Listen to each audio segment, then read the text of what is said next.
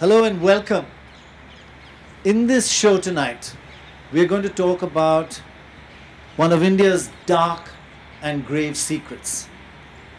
It's about our coastline, which is 5,700 kilometers long, but 25%, that's about 1,500 kilometers of it, is destroyed. The beaches are gone. And what we are talking about here is not just beaches to sunbathe on and beaches for fun.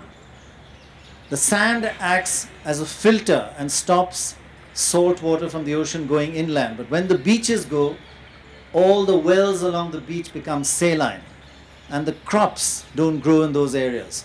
So when we are talking about 1500 kilometers of our beaches gone by man-made environmental problems, we are talking about the lives of some 200 million people in India being affected. And how many of us know about it? We know about glaciers being eroded and, and our rivers dying. And those are crucial issues. But here is probably equal amongst them.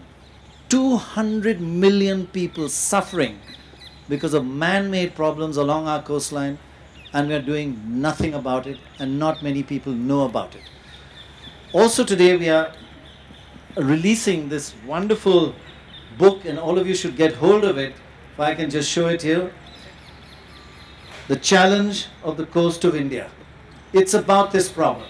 If you can get a hold of this copy, get a hold of it because you need to know what's affecting 200 million people and how the situation is getting worse day by day.